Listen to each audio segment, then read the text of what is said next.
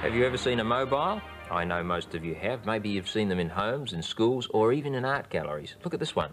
It's in an art gallery, and it consists of long, twisted metal rods, and on the ends, metal weights weighing many kilograms each. The whole thing is very delicately balanced so that it moves and swings slowly in the breeze. Well, you can make your very own mobile with odds and ends around the home. Start with some empty cardboard packages and some drinking straws, cotton thread, and maybe some plasticine or modelling clay. Here's what you do. Begin by weighing on the kitchen scales your empty packages. That one weighs 50 grams. Okay, this one weighs um, about 35 grams. To make it up to 50, I can simply open the empty package and drop in a piece of modelling clay. I've pre-weighed that and I know it will now weigh 50 grams. So those two boxes will balance one another on the mobile very easily. Here's something else. It's a small package. It's a soap container and it has a little piece of soap in it and it weighs, you guessed it, 50 grams. So I know that even though those two things look very different, they will balance one another. Now if you don't have kitchen scales, you can still check the weights of your packages with your very own balance or scales. Ruler with a pencil attached with sticky tape halfway along. And then you can place one package 10 centimetres along this way, the other one 10 centimetres in the other direction. That one weighs more, so I need to add modelling clay inside that one to make them balance. Then comes the frame. To make that, get some drinking straws. All sorts of frames can be made. Let's make a square frame. Take four drinking straws, either straight ones or bendy ones.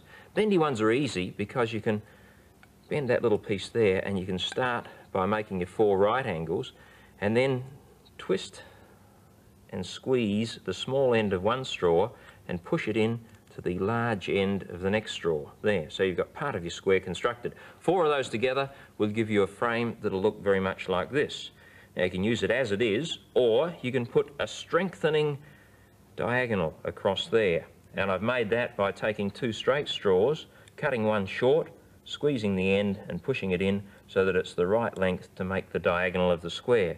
Not only will that give you something to hang from, but also it'll make the whole thing stronger because triangles are stronger than squares. You can even make smaller squares to hang from your big square. That's made from just two drinking straws. And I can put a strengthener across the middle of that too.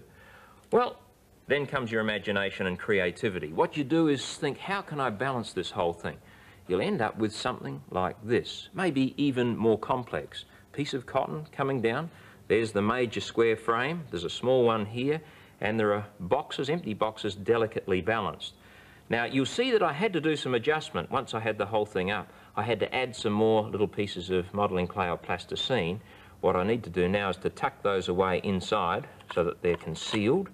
There's one tucked away, and here's another one to be tucked away, and then hang the whole thing somewhere in the house where it gets a breeze, a gentle breeze, not too strong, maybe near a window, but preferably not near a door. So it gets some breeze and it'll just oscillate, swing around and make a very good decoration for your bedroom, lounge room, kitchen or whatever.